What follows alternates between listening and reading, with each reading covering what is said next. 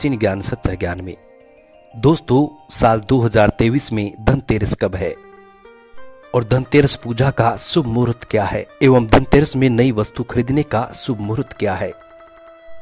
ये सारी जानकारी आज के इस वीडियो में हम आपको बताएँगे। दोस्तों, इस वीडियो को अपने फ़ायदे के लिए पूरा ज़रूर देखें। दोस्तों, हर साल कार्तिक माह कृष्ण पक्ष की त्रयोदशी को धनतेरस मनाया जाता है। पंचांग के अनुसार इस साल 10 नवंबर 2023 को दोपहर बारह बजकर पैंतीस मिनट से धनतेरस की शुरुआत होगी और 11 नवंबर 2023 को दोपहर एक बजकर सत्तावन मिनट पर इसका समापन होगा। धनतेरस का शुभ मुहूर्त शाम को छह बजकर बीस मिनट पर शुरू होगा, जो कि रात आठ बजकर तीस मिनट तक रहेगा। त्रयोदशी तिथि प्रारंभ।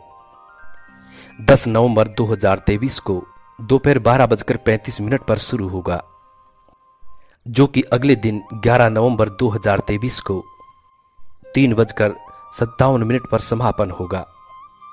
दोस्तों, धनतेरस के दिन खरीदारी का शुभ समय है। धनतेरस पर सोने, चांदी या बर्तन या घर के अन्य सामान, कोई भी सामान खरीदने का शुभ मुहूर्त है। दोपहर दो बजकर पैंतीस मिनट से शाम छह बजकर चालीस मिनट तक रहेगा। अगर आप किसी कारणवश इस दिन खरीदारी नहीं कर पाते तो आप अगले दिन, यानी कि 11 नवंबर को दोपहर एक बजकर छप्पन मिनट तक आराम से खरीदारी कर सकते हैं। क्योंकि धनतेरस की तिथि अगले दिन दोपहर तक रहेगी। दोस्तों, अब आइए जानते हैं कि धनतेरस के दिन हमें कौन कौन सी वस्तुएँ खरीदनी चाहिए। दोस्तों, ये जानकारी बताने से पहले आप सभी दर्शकों से निवेदन है कि आप हमारे चैनल को सब्सक्राइब करें। बिलाइकन ऑन करें अच्छे अच्छे कमेंट किया करें, ताकि हर आने वाले वीडियो का नोटिफिकेशन सबसे पहले आपको मिले और आप उसका फ़ायदा उठा सकें। और इस वीडियो को यदि आपने अभी तक लाइक नहीं किया है तो तुरंत लाइक करें, चैनल को सब्सक्राइब करें, बेल आइकन ऑन करें। दोस्तों, पाँच दिनों तक चलने वाले दीपावली के महापर्व में धनतेरस का त्योहार सबसे पहले दिन मनाया जाता है।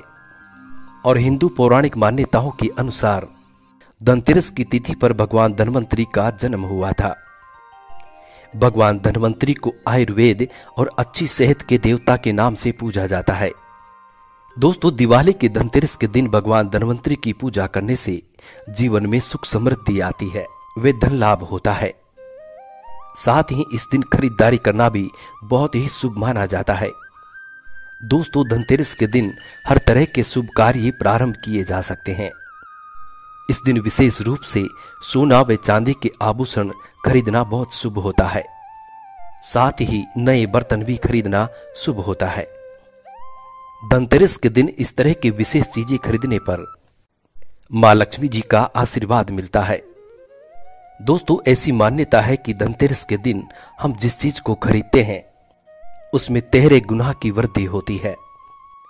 दोस्तों, इसलिए आपको ध्यान रखना है कि कोई भी ऐसी गलती ना करें। ऐसी वस्तु खरीद कर कभी ना लाएँ, जिससे कि अशुभता आ जाए। धनतेरस के दिन ये चीज़ें कौन सी हैं? प्रिय दर्शकों, खासकर आज के इस वीडियो में मैं आपको बताऊँगा कि इन तेरह वस्तुओं में से कोई न कोई सी चीज़ आपको ज़रूर खरीद कर अपने घर में लानी चाहिए। अगर आप सभी तेरह वस्तु को नहीं खरीद पाते हैं तो इनमें से कोई सी भी एक वस्तु खरीद कर आप अपने घर ले आ सकते हैं। दोस्तों, धनतेरस के दिन माँ लक्ष्मी और कुबेर देवता और साथ ही धनवंतरी भगवान की पूजा की जाती है। और इनकी पूजा करने से घर में धन धान्य सुख समृद्धि, यश वैभव की प्राप्ति होती है और घर के धन भंडार हमेशा भरे रहते हैं। धनतेरस के दिन जो लोग सोने चांदी से बने हुए आभूषण खरीदते हैं, या फिर जो लोग सोना चांदी नहीं खरीद पाते हैं, उन्हें भी ऐसी कोई चीज़ अवश्य खरीदनी चाहिए। दोस्तों, सबसे पहली वस्तु है झाड़ू, धनतेरस के दिन। धनतेरस के दिन नई झाड़ू खरीदना बहुत ही शुभ माना जाता है। झाड़ू को माँ लक्ष्मी का प्रतीक माना जाता है, और ऐसा माना जाता है कि नई झाड़ू ला करके पहले उसकी पूजा करें और उसके बाद उसका घर में उपयोग करने से माँ लक्ष्मी प्रसन्न होती है। और घर की तमाम प्रकार की नकारात्मक ऊर्जा घर से दूर हो जाती है और घर में सुख समृद्धि का वास हो जाता है। अगर आप सामर्थ्य हैं तो हो सके तो धनतेरस के दिन एक झाड़ू का दान अवश्य करें। इसे आप किसी जरूरतमंद व्यक्ति को दे सकते हैं या फिर मंदिर में दान कर सकते हैं। या फिर कोई ऐसा चौराया या फिर कोई ऐसी जगह हो जहाँ से जरूरतमंद व्यक्ति इसको ले जा सकें। ऐसी जगह पर यदि आप झाड़ू का दान करते हैं तो माँ लक्ष्मी अति प्रसन्न होती है। दोस्तों, दूसरी वस्तु है धनिया। धनतेरस का धन धनिया खरीदना बहुत ही शुभ माना जाता है। दोस्तों यदि आप बिल्कुल निर्धन हैं और आप ऐसी कोई चीज़ खरीदने में असमर्थ हैं तो धनिया तो आप ज़रूर खरीद कर लाएँ। दोस्तों, कहा जाता है कि धनतेरस के दिन जो लोग धनिया खरीद कर अपने घर में लाते हैं, उनके घर में सदा सदा के लिए माँ लक्ष्मी का आगमन हो जाता है। दोस्तों, साबुत धनिया लाने के बाद, उसकी पूजा करने के बाद, माँ लक्ष्मी की पूजा करने के बाद, उस साबुत धनिया को क्यारी में डालकर बो देना चाहिए। और ऐसा करने से कहा जाता है कि आपके घर में जो भी धन आता है, उसमें बरकत होना लग जाती है। घर का धन घर में रुकना शुरू हो जाता है। अगर आए दिन आपके घर में अनावश्यक रूप से खर्चे होते हैं तो उसमें भी रोक लग जाती है। दोस्तों, इस दिन नमक भी खरीद कर लाना चाहिए। नमक अगर आप तेली वाला लेकर आते हैं तो बहुत ही शुभ होता है, लेकिन आज के जमाने में तेली वाला नमक मिलना बहुत मुश्किल होता है, इसलिए बाज़ार में जो भी नमक आपको उपलब्ध होता है, वो नमक आप खरीद कर अपने घर ला सकते हैं। नमक भी खरीदना बहुत शुभ होता है। धनतेरस से लेकर अगले दिन गोवर्धन, लक्ष्मी पूजन और भाई दूज तक आप अपने घर में इसी नमक का प्रयोग करें। और इन दिनों में अपने घर में आपको नमक के पानी का पोछा भी अपने घर में लगाना चाहिए। दोस्तों, ऐसा करने से घर की दरिद्रता दूर हो जाती है और घर में सुख समृद्धि का वास होता है। चौथी वस्तु, जो आपको अपने घर में लानी चाहिए, इसे गोमती चक्कर कहते हैं। कि जिस घर में गोमती चक्कर होता है, वहाँ सुख सौभाग्य और सुख समृद्धि की वृद्धि होती है। दोस्तों, गोमती चक्कर घर में रखने से वास्तु दोष भी दूर हो जाता है और घर परिवार में किसी भी सदस्य में यदि आत्मविश्वास की कमी हो तो वो भी दूर हो जाती है। दोस्तों, धनतेरस के दिन गोमती चक्कर लाकर उन लोगों के हाथ से पूजा करवाएँ जिनमें आत्मविश्वास की कमी होती है। और फिर इसके पश्चात उस गोमती चक्कर को आप अपने पूजा स्थान में रखें, अपने मंदिर में रखें, या फिर आप अपने धन भंडार में रखें। ऐसा करने से जो भी संबंधित परेशानी है, वो सब दूर हो जाती है। दोस्तों, आपको ये सारी वस्तुएँ मार्केट में पूजा वाली दुकान में बड़ी आसानी से मिल जाएगी। दोस्तों, पांचवी वस्तु है कोड़िया। कोड़िया आपको बड़ी आसानी से बाज़ार में मिल जाती है।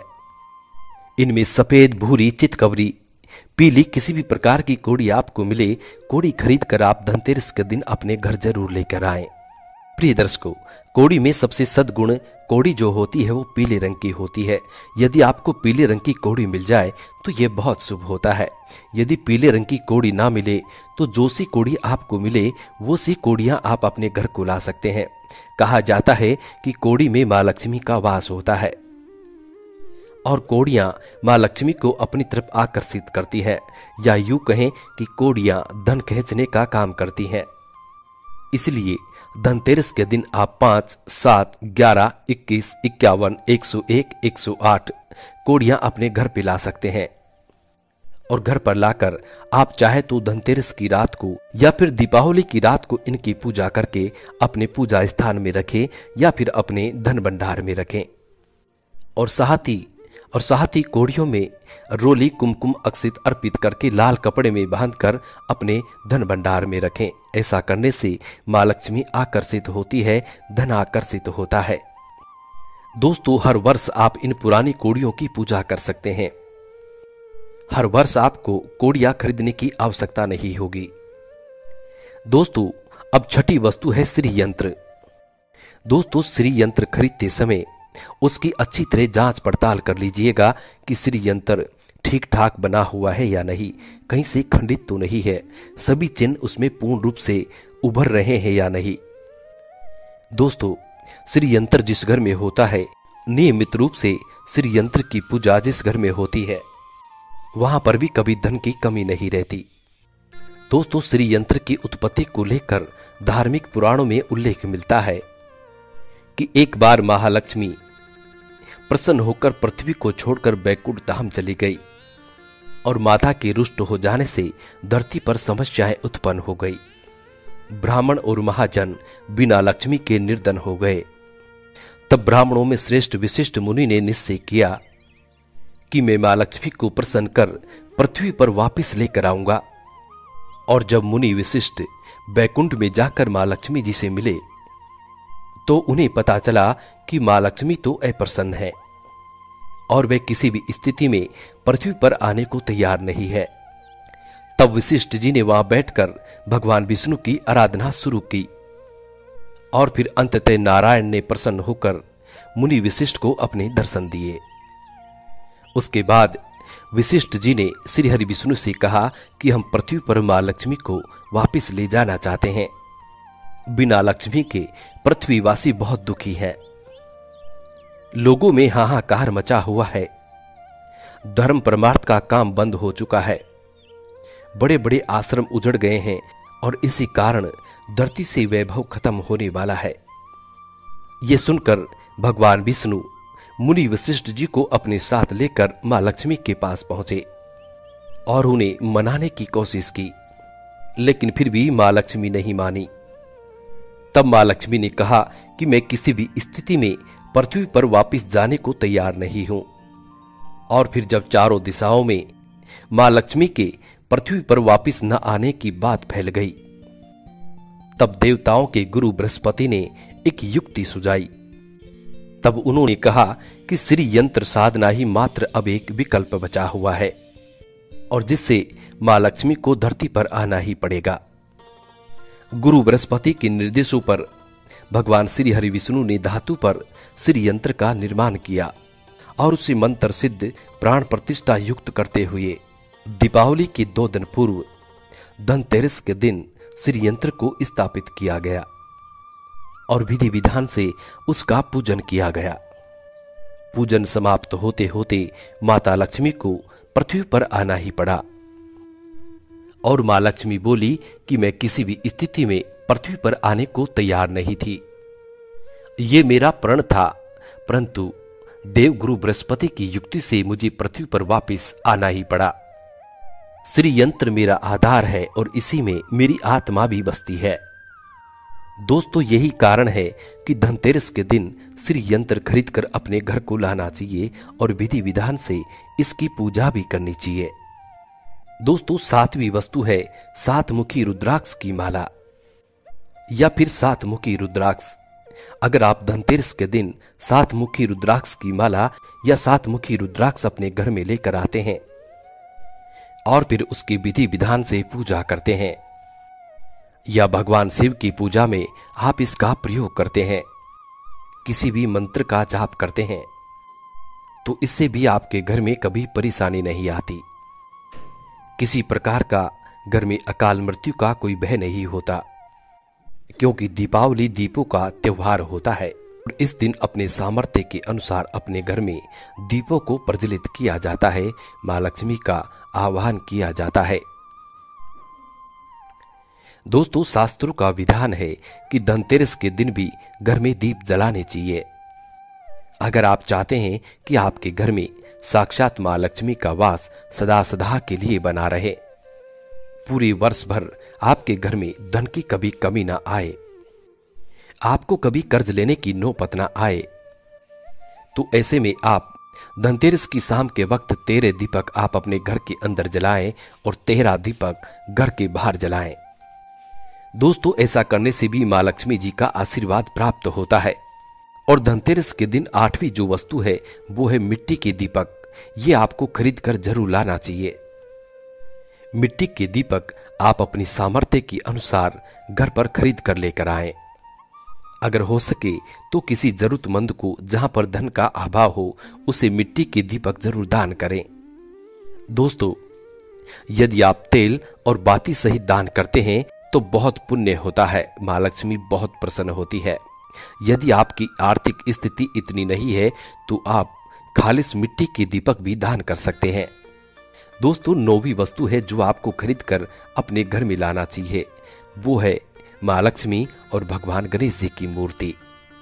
दोस्तों, वैसे तो मिट्टी की मूर्ति ही घर में खरीद कर लाना बहुत शुभ होता है। यदि आप मिट्टी की मूर्ति खरीद कर नहीं लाना चाहते हैं तो धातु की मूर्ति भी आप ला सकते हैं, जैसे सोना, चांदी पीतल आदि धातुओं की मूर्तियाँ आप खरीद कर अपने घर में ला सकते हैं। दोस्तों, यदि आपके पास में पहले से धातु की मूर्तियाँ हैं तो हर दीपावली को खरीदना ज़रूरी नहीं होता। उन्हीं मूर्तियों को गंगा स्नान कराकर पवित्र करके उनकी पूजा करें। लेकिन अगर आपके पास मिट्टी की मूर्ति है तो उनका विसर्जन कर और धनतेरस के दिन नई मूर्ति खरीदकर अपने घर में लाना चाहिए। दोस्तों धनतेरस के दिन खरीदी गई नई मूर्तियाँ। इनकी पूजा आपको दीपावली के दिन शाम को करनी चाहिए। दोस्तों, धनतेरस के दिन खरीदी गई ये मूर्तियाँ, खरीदते समय ये विशेष ध्यान रखें कि दोनों मूर्तियाँ अलग अलग होनी चाहिए। और दोनों ही मूर्ति में भगवान गणेश और माँ लक्ष्मी बैठी हुई मुद्रा में होनी चाहिए। इस बात का विशेष ध्यान रखें। खड़ी हुई मूर्तियाँ जो होती हैं, वो उग्र स्वभाव की और चंचल स्वभाव की होती हैं। अगर आप खड़ी मुद्रा वाली मूर्ति लेके आते हैं तो आपके घर में धन का अभाव हमेशा के लिए बना रहेगा, कभी धन आपके घर में नहीं रुकेगा। इसलिए बैठी मुद्रा वाली मूर्ति ही आपको अपने घर में खरीद कर लानी चाहिए। दोस्तों, भगवान गणेश की मूर्ति खरीदते समय ये ध्यान रखें कि उनकी जो सूंड है, वो बाई तरफ़ मुड़ी हुई होनी चाहिए। और उनका वाहन मूसक भी उस मूर्ति में ज़रूर बना हुआ हो। और भगवान गणेश के हाथ में लड्डू या मोदक भी होना चाहिए। और माँ लक्ष्मी की जो मूर्ति है, वो कमल के फूल पर विराजमान होनी चाहिए। और उनके हाथ में सिक्के या फिर सिक्के गिरने वाली मुद्रा में हो। ऐसी मूर्तियाँ घर में लाना बहुत शुभ होता है। दोस्तों, दसवीं चीज़ है कुबेर यंत्र। कुबेर यंत्र खरीदना भी बहुत शुभ होता है, इसलिए आप कुबेर यंत्र भी खरीद कर अपने घर में ला सकते हैं। भगवान कुबेर को धन का देवता कहा जाता है, इसलिए धनतेरस के दिन कुबेर यंत्र खरीदना भी बहुत ज़रूरी होता है। और कुबेर यंत्र की विधि विधान से पूजा करें, इसके अलावा आप चांदी के सिक्के भी खरीद कर अपने घर में ला सकते हैं। दोस्तों, ये थे कुछ आइटम जिनको आप धनतेरस के दिन खरीद कर अपने घर में ला सकते हैं।